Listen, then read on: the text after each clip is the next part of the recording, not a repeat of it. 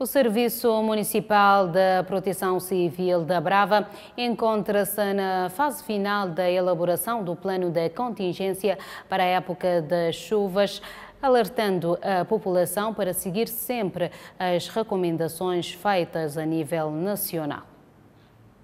O responsável do serviço na Brava, António Lopes, disse que se encontram na fase final da compilação dos dados para a elaboração do plano de contingência, tendo já iniciado algumas intervenções no terreno, juntamente com o setor do saneamento da autarquia, para uma melhor preparação. Segundo a mesma fonte, o plano vai ser disponibilizado a todos os membros do Serviço Municipal de Proteção Civil e das outras entidades bravenses, de modo a que estes possam ficar em alerta para qualquer eventualidade. Quanto aos trabalhos, no terreno, destacou que já deram início ao corte e poda de árvores em algumas localidades assim como aos proprietários e funcionários das minas de extração de inertes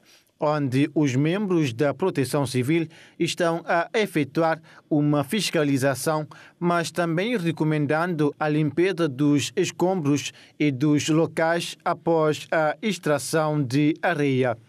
Questionado sobre os maiores riscos na ilha durante a época das chuvas, este responsável explicou que, pelo que tem constatado, no caso de chuva ou vento fortes, os casos mais comuns têm sido quedas de aves, pedras, obstrução de caminhos, problemas com algumas casas que podem correr o risco de desabar e algumas inundações.